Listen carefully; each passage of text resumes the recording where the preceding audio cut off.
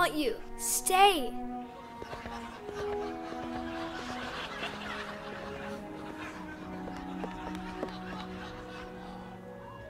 There's so many more investigations that have to be done.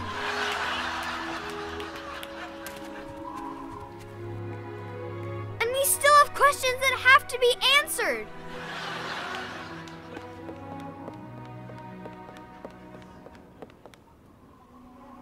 Is Trump so supportive of Putin?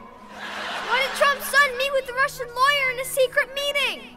Why did Trump lie about the Moscow Tower? Don't leave us alone with him. He's crazy.